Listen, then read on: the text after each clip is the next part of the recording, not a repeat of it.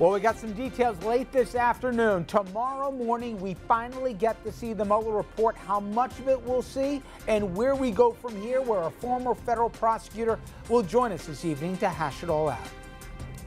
Then our legal panel will weigh in on a bunch of big stories in the news, including the measles outbreak, the intersection between the law and public health. Also, the college admissions scandal. Felicity Huffman She's pled guilty, but Lori Loughlin has entered a not guilty plea. Two actresses, two different strategies. Which one will pay off? Evening, everyone, and welcome to RFL. I am Richard French. Well, I can tell you when at least. 9.30 tomorrow morning, Attorney General William Barr, he's going to hold a news conference on the Mueller report. He'll be joined by Deputy Attorney General Rod Rosenstein. So the countdown is on as everyone eagerly awaits its response. On the eve of the release of the Mueller report, the White House sounding optimistic. The mood's great, actually. It's actually a very fun place to work, and I, I enjoy it. I enjoy my work here.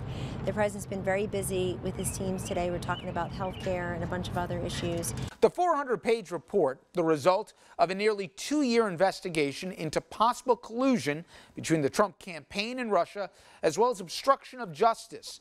That report will be delivered to Congress, but with redactions. I'm sure people will cherry pick and try to find something in there. While Congress and the president's legal team pore over the details, the president is casting his own narrative. No collusion, no obstruction, based on Attorney General William Barr's four page summary of the main findings released last month. Trump seemingly unconcerned about what may be in the rest of the report. I heard it's going to come out on Thursday. That's good.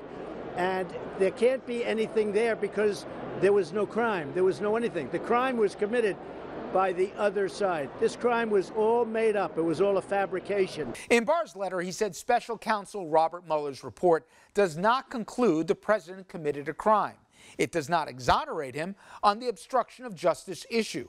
The president, though, still calling that total exoneration. So as just heard in that piece, the president says he's been totally cleared, but the majority of people, they don't buy it. Less than a third of the American public believes that the report will exonerate him, and obviously we're going to find out much more tomorrow when it's get laid in front.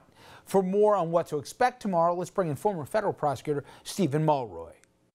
So, Steven, this is, I guess, the $64,000 question. Will we ever get to see the full report? And since we know it's going to be redacted tomorrow, will subpoenas from the Democrats at the end of the day force the release, at least for those committees' eyes only?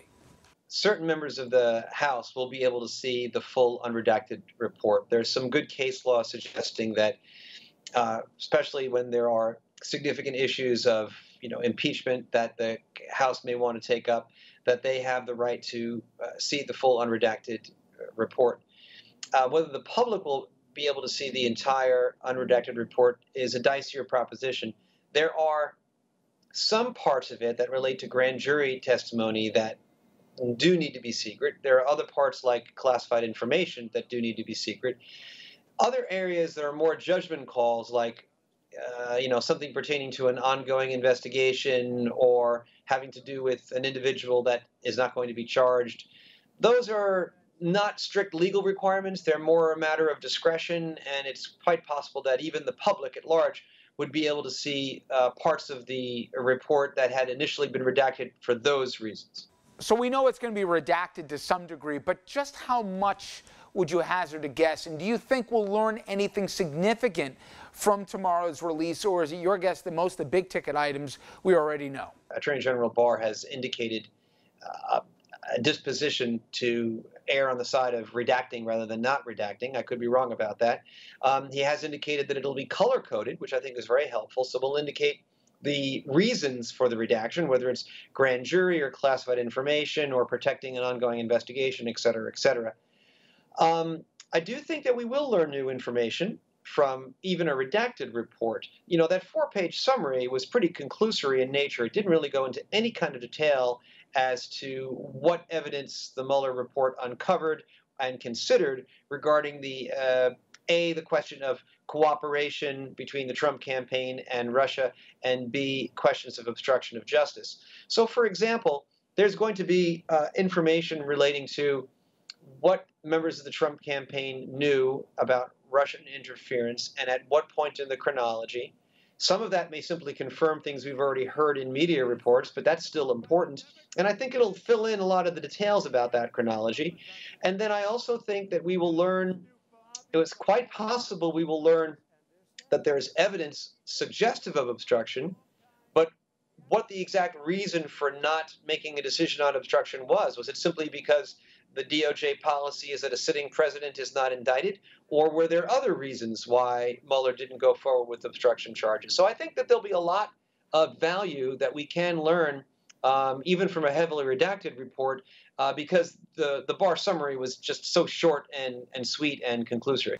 So I'm sure, like the rest of us, at 9:30 tomorrow, when this report drops, you're going to be digging into it.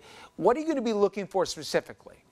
Well, tomorrow happens to be a very heavy teaching day at the University of Memphis School of Law, so there are going to be uh, limited opportunities for me to look into it. But when I can dig into it, I'm going to be looking for, in particular, one thing I'm curious about is any any suggestion of a link between decisions that the Trump administration made, uh, both during the administration, during the transition period, and even during the campaign, the Trump campaign, regarding sanctions against Russia.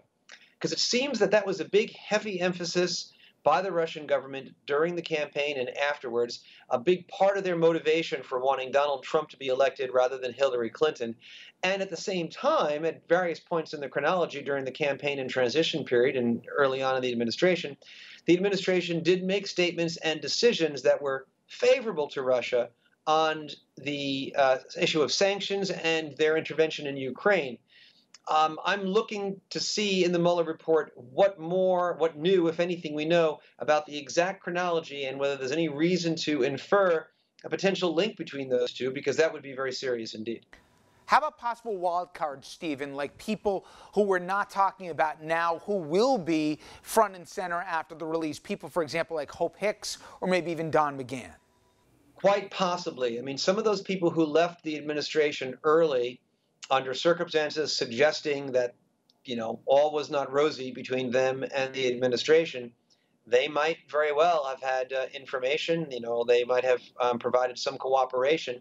And from what we know of this president, um, you know, he won't take a forgive and forget mindset. You know, there there's potential grudge holding that may result from that. So I think you're right to be looking for that. Now, Barr's already said no further indictments from the Mueller report, but that at the end is just one court with one jury. What are the chances, do you think, that we'll learn something tomorrow or from the additional probes that come out that could spark additional prosecutions, for example, from the Southern or the Eastern District?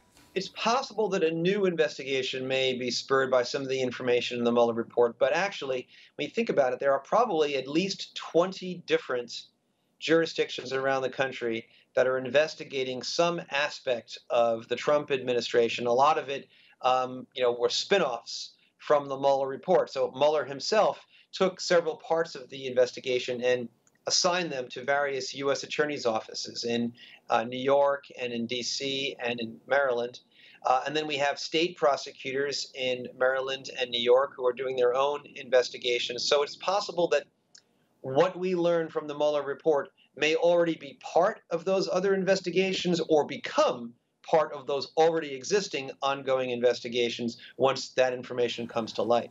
Understandably, Steven, so many are going to be focusing on obstruction since Mueller didn't reach a conclusion on it, even though Barr seemingly did. Is it possible we get evidence of obstruction that could not be proven to the point of criminal prosecution? And also remind everyone what has to be proven for a criminal prosecution when it comes to obstruction. For obstruction of justice, you have to show that somebody with corrupt intent uh, intentionally attempted or succeeded uh, in interfering with an ongoing judicial proceeding, which could be an actual court proceeding or a federal investigation or even, you know, uh, congressional investigation.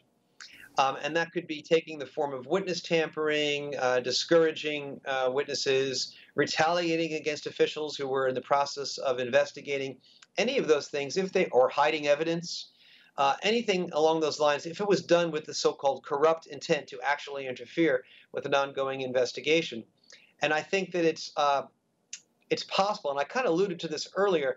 We might find out that there is evidence suggestive of, of corruption, but that it wasn't enough, in Mueller's view, to provide proof beyond a reasonable doubt, but it might be enough for impeachment. Or it might be that it might even have been enough for a potential criminal prosecution, but there were issues of immunity. So, for example, the Department of Justice policy is that as a separation of powers matter, you cannot indict a sitting president. The only remedy for a sitting president would be impeachment. So if you know that were the reason why Mueller didn't take a position on obstruction of justice, that would be very damning for the president. Uh, if it was simply that there was evidence but not enough to go beyond a reasonable doubt, then that would sort of be a middle ground. Or it could be just there was no evidence at all, which would you know be uh, uh, very good for the president. Although Mueller was careful to say that the report didn't exonerate the president, so that suggested that there's at least some evidence in the report uh, indicative of obstruction, even if not a slam dunk proof of obstruction. Steven Mulroy, thank you so much. And uh, of course, we'll be checking in, particularly after tomorrow. All right, coming up next, everybody. As the measles outbreak spreads, state and local leaders, they're trying to figure out how to stop it. Well, we're going to bring in a legal panel after this to take a look at how public health and the law are intersecting.